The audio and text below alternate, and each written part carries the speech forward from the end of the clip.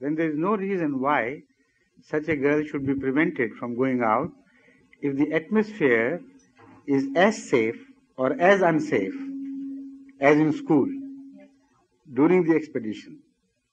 In this, if there is no difference, it is not wise on the part of the parents to stop their girls from participating in holiday excursions. But one has to be realistic.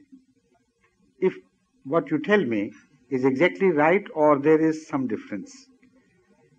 I believe that when you go out on excursions, there is every likelihood that boys and girls walk alone without being in the sight of other people, teachers and others, and the atmosphere is such that they are more likely to go astray than in the atmosphere of the school.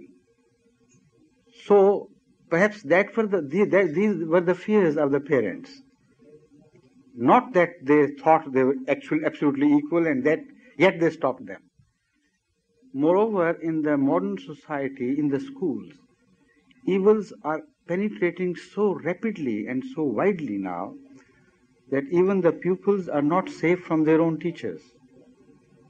And I know as facts of life, published by authorities, investigators, etc., that these are now the problems of at least schools in England, where uh, vice is practiced in the school between pupil teacher relationship.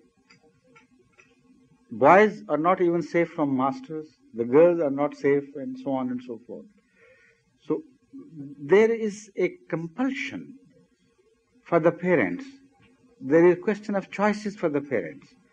Either they can decide to completely boycott the education system and let their children grow totally ignorant, or to take maximum precautions and yet permit them to go practicing safety, caution, etc. So this is the limited choice available to those Muslim parents who want to retain their moral values. But beyond that, they don't want to take risks. Here is something as a must. There is something is optional. Mm. So for the must, you can take some risks. But for the optional, you don't have to take risks.